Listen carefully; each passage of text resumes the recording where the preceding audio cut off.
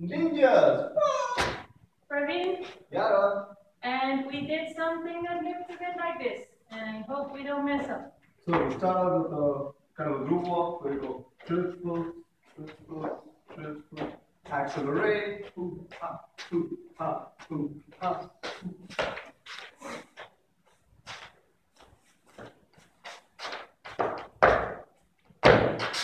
So the interning going from a normal tripling rhythm into a quick rhythm and then going into rotation and using that rotation to get into a uh, kind of a setup with an extra in between. Yeah, then we had a couple of hesitations.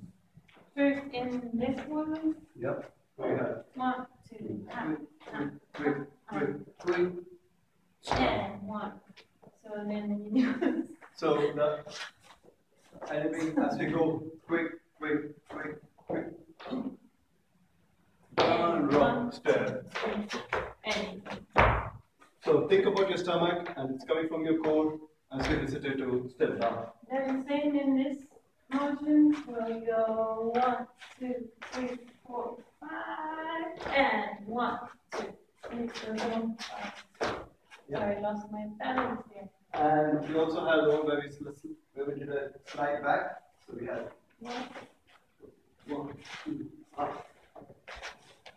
and one, two. And then the last thing we did was the We spoke about building a stretch with a traditional send out.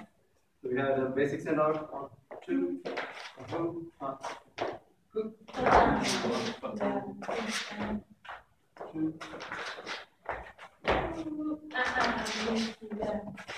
Or in the turn that we did in this this one, app. one, two, uh, four, uh, we, we didn't have to.